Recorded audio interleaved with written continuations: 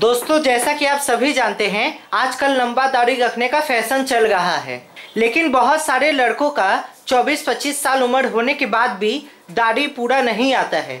किसी का हाफ़ आता है, किसी का बहुत पतला आता है, किसी का इतना कम आता है कि वो छः महीना तक सेविंग भी ना करे तो भी उनको कोई फ़र्क ना पड़े।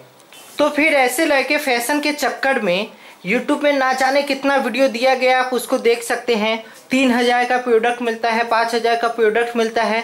अलग अलग सेंटर में आपको पैकेज दिया जाता है, तीन महीना का छः महीना का।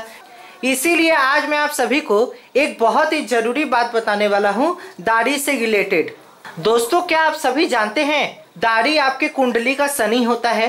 कहने का मतलब है कि अगर आपके कुंडली में शनि देव सही है, तब तो आपको लंबा और बड़ा दाढ़ी रखना चाहिए। लेकिन अगर आपके कुंडली में शनि देव नेगेटिव है और आप लंबा दाढ़ी रखेंगे, बड़ा दाढ़ी रखेंगे तो इससे आपकी लाइफ में स्ट्रगल और भी ज़्यादा बढ़ जाएगा। इसीलिए दोस्तों फ़ैशन के चक्कर में आप अपने लाइफ में और भी ज़्यादा स्ट्रगल ना बढ़ाए। दोस्तों, आप में से काफ़ी सारे लोग होंगे जिनको अपना डेट ऑफ़ बर्थ पता नहीं होता है। बहुत सारे लोगों के घर के आसपास पंडित भी नहीं होता है और आजकल तो जितना भी पंडित है, सब चोर चिटिंगबाज हो गया, डेढ़ सौ, दो सौ रुपया लेगा पान बीड़ी खा के आपका पैसा बर्बाद करके चला जाएगा, कोई ढंग का उपाय आपको बताएगा नहीं। इसीलिए मैं एक अगला वीडियो भी आप सभी के लिए बना दूँगा।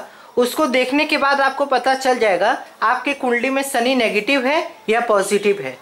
मैं हेल्थ से रिलेटेड वीडियो ज़रूर बनाता हूँ, लेकिन मेरा फेवरेट सब्जेक्ट एस्ट्रोलॉजी ही है।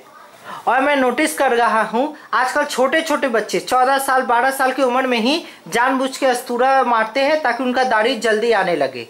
जबकि उन सभी नादान बालक को ये पता नहीं है कि फ़ैशन के चक्कर में वो कितना बड़ा गलती कर गए हैं।